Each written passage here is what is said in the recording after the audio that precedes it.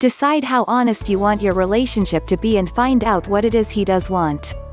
Maybe he is hiding, running, lying to himself, scared about what it means to Jim to be in a relationship, etc. Then you have to decide if you are willing to continue how you are in the Posila BS drama of what he is creating in his head about the story he is telling himself about who you are to him. Then you have to deal with that, and ask yourself if that is good enough and worth it. If you can accept him, what he says and what he does without being offended or upset personally, then that is your choice how to continue, otherwise get off the crazy train BC it's all gaslighting and drama from here.